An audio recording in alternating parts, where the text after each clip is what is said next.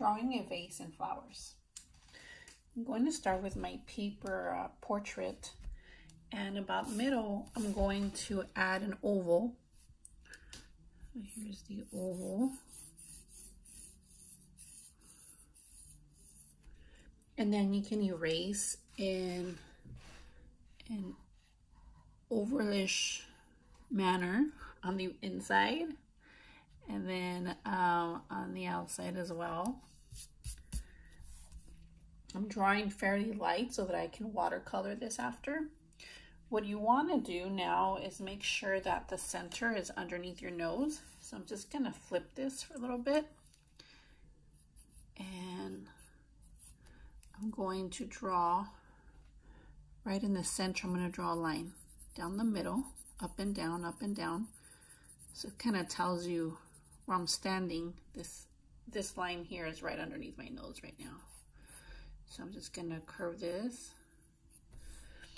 And then from here, I'm going to, same thing, you want the you want this to be straight. You want this um, this line to be underneath your nose, very important. Same as the other the other lines we're gonna draw. So the other ones we're going to draw, we're just gonna, right in the middle, we're just gonna go back and forth. And then on the right, we're gonna go back and forth as well. And you want it to be about the same size. So about the same size, same size. And then um, the bottom one, we're just gonna make it so that it's about the same size. You can make these lines smaller. Why don't we make them smaller in this case? But I made these two. You want these to match. You obviously want these to match. And so these two and then these two match. And then now all, all I'm going to do now is connect. So I'm going to connect and connect. I'm curving in, slight curve in, and then I'm going to curve in here too. Curve in. So there is my curve in. So now I don't need uh, my guidelines. I can get rid of these. And if you're drawing light, should erase easily. If not, then maybe um, expose your lead a little bit more. I'm going to draw a flower. So the one way, there's so many, many, many, many ways of drawing a flower. But this is one of the easiest ways to show my students. So the, it would be to draw a heart. Doesn't have to be perfect just any type of heart. And then you're just gonna add ears to your heart. So here's one, and then here's the other. Now when you're drawing the stem, you wanna go over the, the top line and under the front line. Now if you happen to go through, it's okay. You can always just go back and draw a line over this. So let's draw the other flower. So the other flower, you start with the letter E, lowercase e. So there's my lowercase e. Make it a little darker so you can see it. And then I'm gonna begin wiggle, wiggle, stop, wiggle, wiggle, stop, wiggle, wiggle, wiggle, wiggle, stop. And you just keep on going, whatever size flower you like. I'm gonna stop there. And same thing, I'm gonna go over the top line, go under the back line. I'm gonna add some leaves, some long leaves for this one, some shorter leaves for this one. And there you go. Now we're ready for watercolor. Now you would want to make this a lot lighter before you watercolor. Um, I'm going to make it a little lighter just to help me out. Otherwise, if you're using dark colors, it won't matter. But if you're trying to leave the glass um, to be a glass color, then um, you most definitely need to make this a little lighter. So I can make it even lighter. I always say if you hold, if you can place your your paper to the side and still see it, it's probably too dark. So, so I think that's as light as I can go. So I'm gonna grab a thin brush Where's my thin brush? I think I'm going to start with this brush. Oops. Okay. So I'm going to start with this, give you an idea the size of my brush. It's even smaller than my pinky. So, pinky nail. So any color you like, um, because the book has them in purple, we're just going to go for purple. And it's water, right? Water, color, napkin.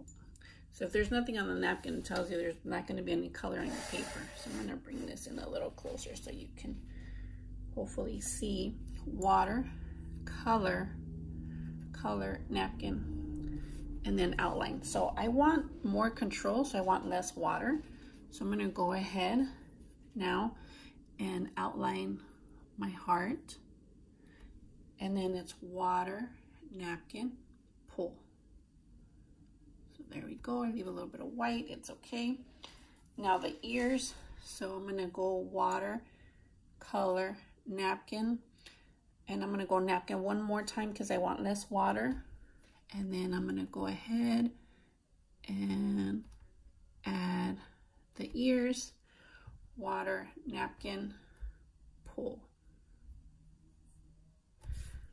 So that's that. Let's go to the next flower.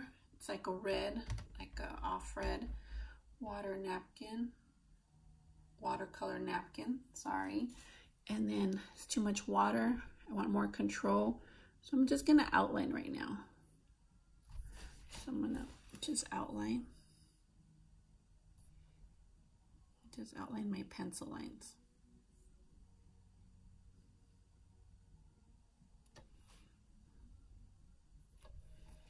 So now it's just gonna be water, napkin, but just very little water because I don't wanna lose my line. So I'm just gonna pull in one section at a time so that I don't lose my lines. That will work for me. Water napkin, I'm gonna go for my green. Any green, let's see.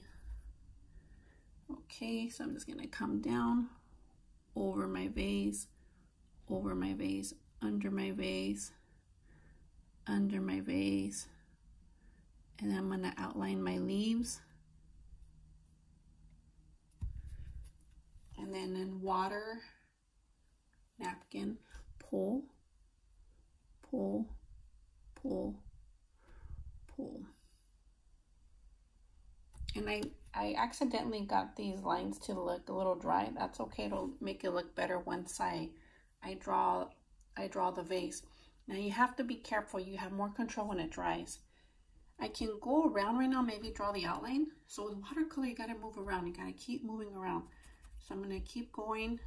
Um, some people, when you're looking at a vase, a clear vase, you see, um, some people see blue, especially if there's water in it. Others, when there's no water or very little water, you'll see that the vase, a clear vase, is uh, great. I'm just gonna go for blue. So I'm gonna go for a blue and I'm just gonna outline with the tip of my brush. Just gonna outline and hopefully not make a mess.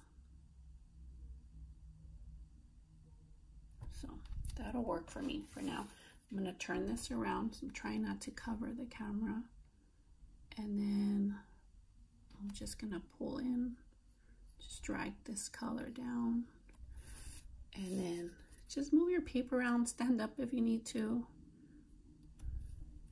And so there it is. I could probably add the water line right now. Looks maybe down here. Up here it's still a little wet, so I'll just make the water line there. And then at this point, because this is dry in here, I can go ahead and get some water, napkin, and kind of drag some of this color. I want to leave a little bit of white. And in some of these little white areas too, I can just add a little bit of, little touch of color for now. Once it's dry, once I know this is dry, I can go over some of those lines. But in the meantime, let's work on our shadows. So um, it looks like the darker side is on this side. So I'm just going to say that my light's on the right side.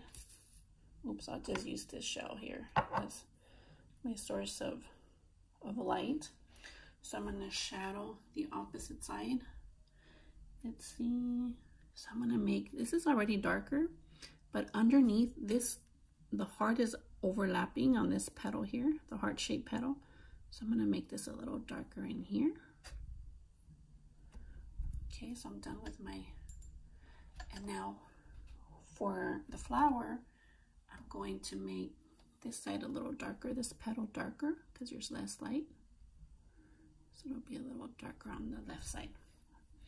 And same thing for my vase, it's gonna be darker on the left side. So here we go. Hope you're enjoying your book. Feel free to contact me on Instagram. And so now I'm gonna, right now it's the floating vase. So I'm just gonna add, I'm gonna add, I'm gonna add blue. So I'm just gonna go ahead and add blue. And I'm just gonna do the width. So the width, I think I went over the width, but it's okay. And then I'm gonna go with here. And because we said that the sun is on this side, I can actually take this out a little further this way.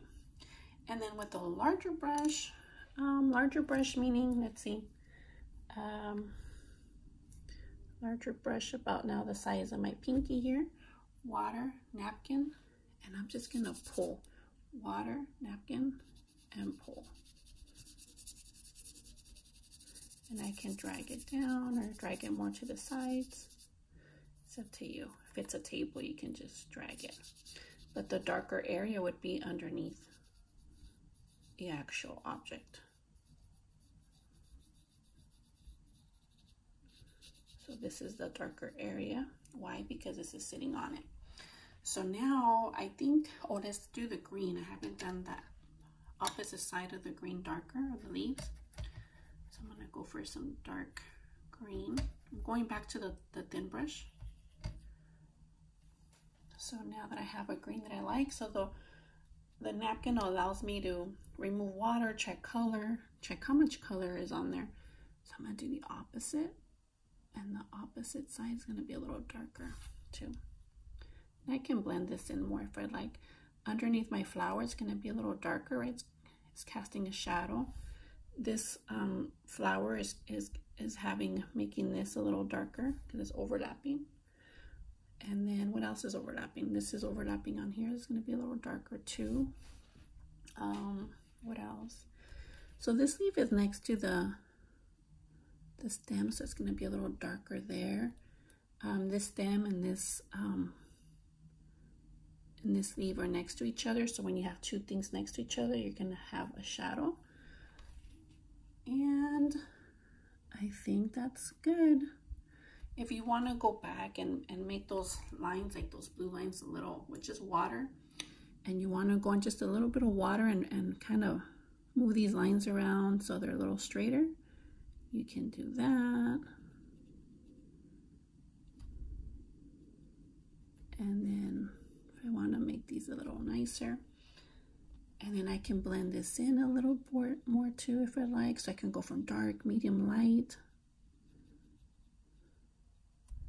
Could do that. Same with the leaves. I can go from like this dark and then blend it in so I have like a dark medium light. It's up to you. It's all about style and you know, you're I'm making a decision as to how dark the room is. And then I'm gonna turn this because it looks like I got a little bit of my vase on top of my on top of the stem, so I'm gonna go over it.